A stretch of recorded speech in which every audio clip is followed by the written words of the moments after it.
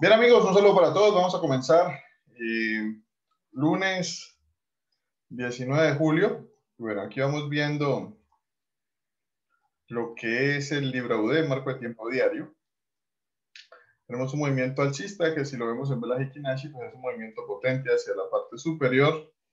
Eh, tenemos cierres después de ese pequeño retroceso de un movimiento que no perfora la parte superior por el momento, tengo que esperar a ver cómo cierra esta vela diaria, podría generar un retroceso y dar un nuevo impulso, ¿no? Por el momento las velas Hikinashi marcan un impulso desde acá abajo, después de tomar un poco de liquidez y bueno, el arranque potente hacia la zona superior.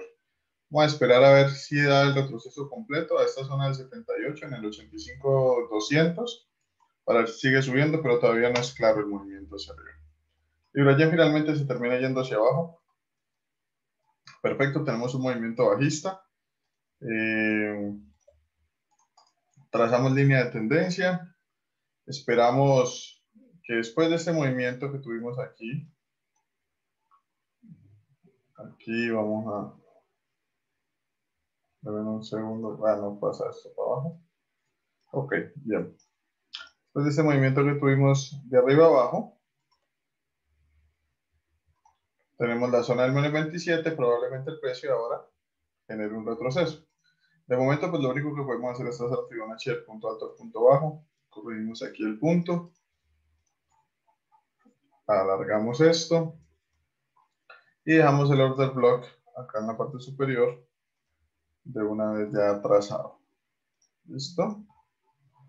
Entonces ya nos queda, solo conecta con la zona del 78, lo vamos a esperar en el 1.53 más o menos, más o menos en el 1.53, que es un buen nivel para nuevamente girar hacia abajo. ¿sí? Liquida posiciones de libra y en bajistas, ya dio todo el movimiento potente y pues de momento ya no espero que baje más por el momento, sino que solo retroceda. Bueno, Libra CAT viene haciendo altos más altos. Vamos a revisar aquí qué está sucediendo tenemos un precio que rompe, retestea y arranca. Y si trazamos aquí en Vela Kinashi, pues tenemos un movimiento completo. El precio de momento no alcanza a tomar liquidez en la zona superior. Y al no tomar liquidez en esta zona superior, pues no podríamos esperar un movimiento bajista potente. Entonces, al tener altos más altos, simplemente vamos a esperar un retroceso para luego comprar y está lejos. Libra dólar hacia abajo después de este pequeño movimiento alcista. Tiene un cierre por debajo de esta zona. Perfecto. Lo único que podemos hacer es trazar un movimiento bajista. Siempre el mercado nos va mostrando lo que necesitamos ver. Entonces, aquí tenemos un movimiento bajista. Acá tenemos una nueva línea de tendencia mm, que no me gusta tanto, de pronto me gusta más esta. Tiene un poco más de sentido. Al tener un cierre por debajo, pues básicamente un movimiento bajista, trazamos el order block. Perfecto, y esperamos una vela verde para poder trazar el Fibonacci. De momento, pues sería un Fibonacci de arriba abajo. Y si revisamos la vela Hikinashi, pues viene desde ahí, no hay ningún problema. Alargamos aquí un poco y conecta perfecto en el 78. Vamos a Libra neozelandés. Eh, Bien, aquí entonces el libro neozelandés eh, va haciendo movimiento alcista, perfecto. Y aquí tenemos entonces, primera gol, primer, digamos, toque que hace en esta zona. Si vamos al marco de tiempo de cuatro horas, todavía no tenemos un movimiento claro contundente, pero en el marco de tiempo de una hora, sí tenemos un movimiento claro y contundente. Vamos a revisar lo que es perfecto. El precio tiende a hacer un retroceso, luego arranque potente. Vamos a ver cómo empieza a retroceder. Posiblemente nos dio una entrada aquí. Vamos a trazar el Fibonacci del punto bajo al punto alto. Y pues en esta zona, lo que vamos a hacer es alargar esto. Perfecto. Tenemos el order block, que es esta vela de aquí. Muy bien que conectan el 78 en un precio de 95,500. Creo que aquí no hay eh, espacio para, para equivocarse, está muy bien, muy específico. Y lo más prudente sería hacer una entrada en el 95.500. Vengo a colocar lo que es el stop loss acá al final del movimiento. El take profit a la zona de menos 27. Una relación riesgo-beneficio 5 a 1, es muy buena. Ahí tenemos esto. Le colocamos los pips del stop loss que nos entrega y los pips del take profit. 5.7 a 1. Es una muy buena relación riesgo-beneficio con grandes posibilidades. Eh, y simplemente pues lo que voy a hacer aquí es colocar una alerta antecito para que el precio me avise. Me avise cuando ya esté cerca para poner la orden. Y así pues revisar los volúmenes y que no venga con mucha fuerza, eh, que no vaya a ser alguna noticia, que simplemente te saca a la gente y estar pendiente ahí solamente eso. Bien, perfecto. El US dólar sigue con su movimiento alcista. Vamos a esperar a ver si cierra por encima o si cierra por debajo de ese máximo. Y el dólar ya finalmente pues terminó yéndose hacia abajo y le faltó poquito para recogernos. Le faltó bien, bien, bien poquito para recogernos y bueno, pues desafortunadamente no, alcanza a entrar ahí y, ya.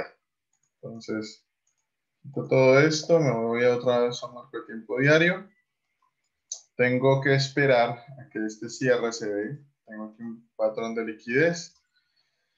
Ya saben, en, videos, en el video anterior les monté cómo tomar liquidez en caso de que sea una contratendencia y toca esperar a ver si en la vela diaria el precio finalmente cierra por dentro de esta zona y toma simplemente liquidez, o si cierra por debajo, pues ya espera un retroceso para seguir vendiendo. Por temas de liquidez es posible. ¿sí? El, dólar franco, miren cómo toma liquidez y va hacia la zona superior.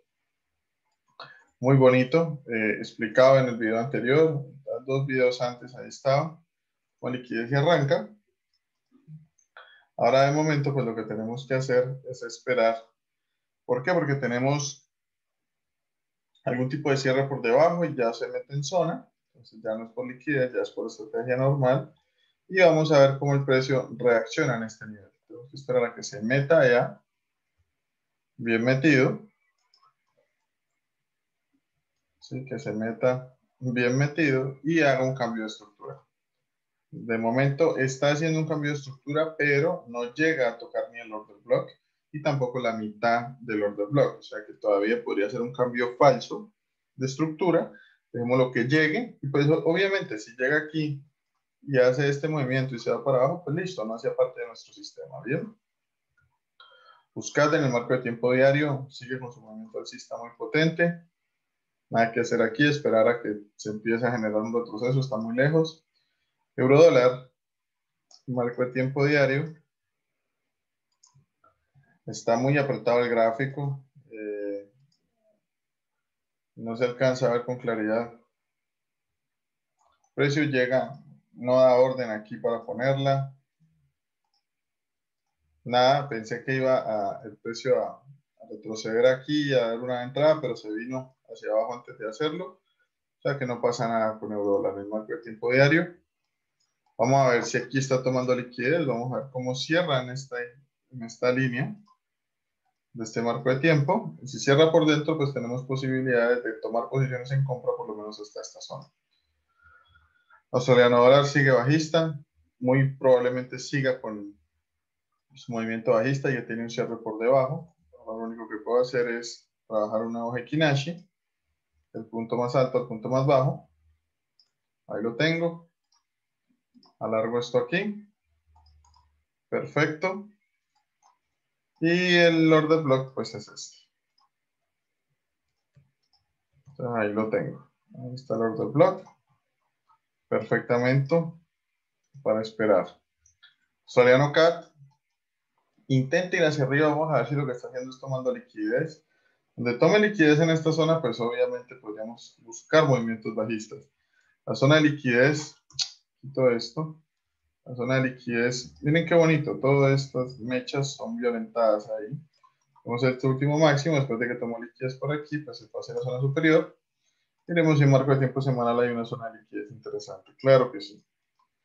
El precio ahí, si cierra por dentro, que esperar a que la vela diaria cierre. Si cierra por dentro, nos da una posibilidad de tomar posiciones en venta y ojalá pues esta línea de contratendencia sea perforada.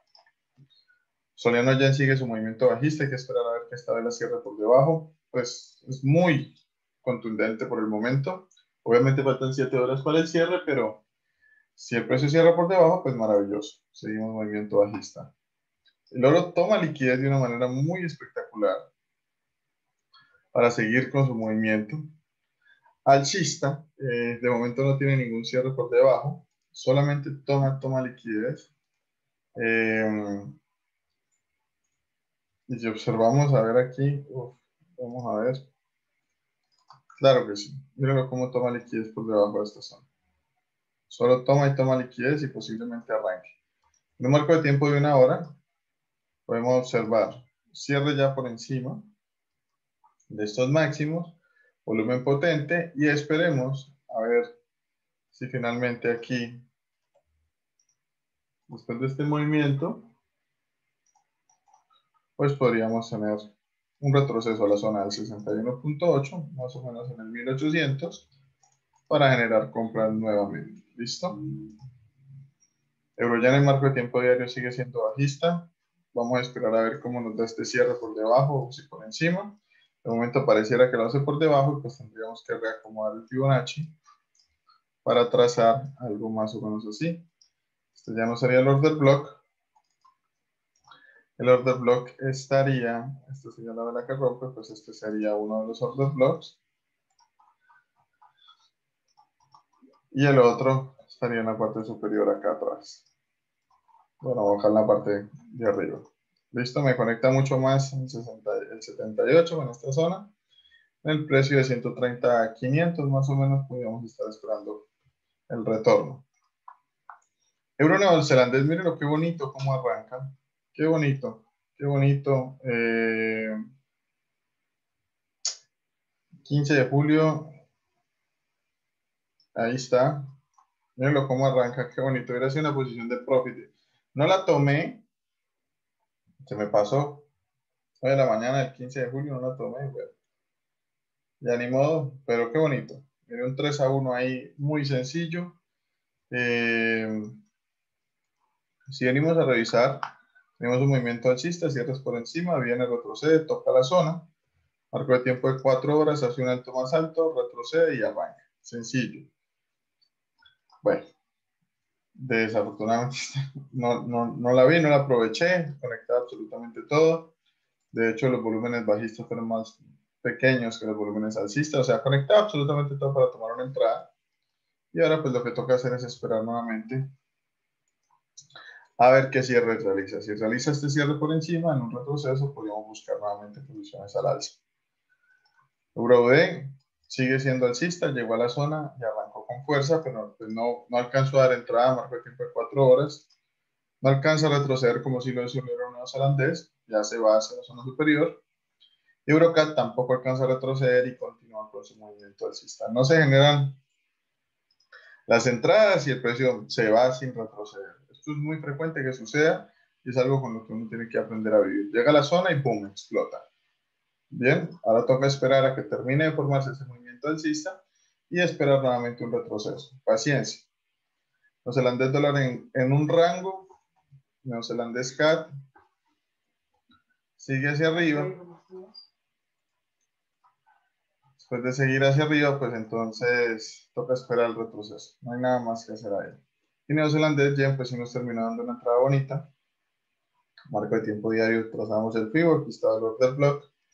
El marco de tiempo de 4 horas después de hacer el movimiento bajista. Trabajamos el order block. Buscamos la entrada y nos da un 3.8 a 1 muy bueno ahí, que ya líquido. Este sí lo alcanzamos a tomar. Y pues posición positiva. El Cayen sigue en movimiento bajista. Vamos a esperar el cierre, igual que los otros que terminan con yen. Y el US30 se desploma, pero vamos a ver si es solamente toma liquidez y continúa su movimiento alcista, pues porque se pone interesante, ¿no? ya saben que aquí tenemos simplemente un movimiento mínimo, puede estar volando stops y continuar hacia arriba, por eso toca esperar el cierre de velas. Entonces es muy importante que ustedes tengan en cuenta el cierre de las velas del día de hoy porque hay varias eh, oportunidades. Dólar yen, euro dólar, AUDCAT y el US 30 o Dow Jones con posibilidades de que solamente estén tomando liquidez y tengan un movimiento hacia el lado contrario. Si cierra por dentro, lo más probable es que vaya hasta el siguiente nivel, que es esta parte superior, por encima de los 35 mil. El Bitcoin aterriza nuevamente en los 30 mil. Muy bien, lo esperamos un poquito más abajo. Es una zona de compra relevante. Vamos a ver si el precio finalmente puede seguir bajando o pues encuentra nuevamente compradores aquí y podría dar un nuevo impulso a tocar la línea de tendencia y a continuar el movimiento bajista. El USD COP en las nubes, 3.845 pesos cotizado y con posibilidades de seguir al alza después de pegar en el 61.8. Esperamos precios casi a 3.900 para finalizar julio. ¿Listo? Para los que se encuentran en Colombia. Eh, bueno, les recuerdo que se inscriban en la semana del trading. Eh, aquí abajito les dejo el enlace de este video para que se inscriban en la semana del trading. Iniciamos el próximo lunes, 26 eh, de julio, iniciamos la semana de trading, 7 de la noche a Colombia, y vamos a tener la primera clase, luego el miércoles la segunda clase, el viernes la tercera clase y el domingo la cuarta clase. ¿Listo? Para que no se lo pierdan, vamos a trabajar lo que son los cuatro fundamentos del trading, qué se necesita para ser un trader consistente, cómo lograr los resultados, cómo entender las probabilidades y la estadística para que ustedes finalmente puedan eh, interiorizar que esto es un negocio 100% de probabilidades y de estadística y que no pueden estar buscando tener la razón en cada uno de los trades porque lo único que van a hacer es agotarse ustedes mismos. ¿Listo? Entonces, ahí está. Tenemos ya más de 3.000 personas registradas a la semana de trading, o sea que aprovechen que es completamente gratuito y nos vemos allá. Ya las inscripciones a nuestros entrenamientos presenciales están cerradas y ya esperamos verlos el 7 de agosto en Bogotá, el 30 de agosto en Cali y el 20 de septiembre en Medellín. Recuerden compartir este video para que más personas puedan aprovechar la oportunidad de aprender completamente gratuito con nosotros sobre el mundo del trading y nos vemos entonces el miércoles en nuestro análisis de Facebook a las 9 de la mañana, como siempre, todos los miércoles. Un saludito para todos, Andrés Zúñiga. Recuerden que nosotros no vendemos Bitcoin, no ofrecemos planes de inversión y no se dejen robar y por favor reporten a las cuentas que utilizan nuestra imagen para eh, su beneficio, ¿listo? Para estafar a las personas. Nos vemos en una próxima. Chao, chao.